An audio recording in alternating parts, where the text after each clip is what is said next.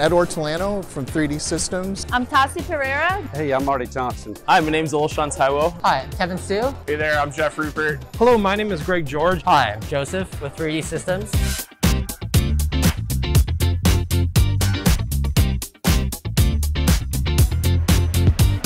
It sets a new standard for having a material that has good long-term stability. We're running a demo of some of our hydrogel prints. The ProBlack 10 has been a really great material for figure four. We've kind of improvised and implemented uh, no supports on them. We have vertical stack printing for orthodontic models. So with the flick of the button, I can go ahead and capture 3D scan data of this part. We're also able to achieve more impressive models, such as this heart model.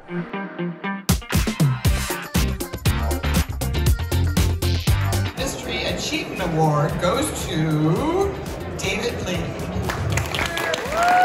If you're going to make a difference, be willing to do the hard work. So get involved, right? Don't make excuses and do the hard work. And I'll just say, as a, my own personal charge, is uh, don't give up.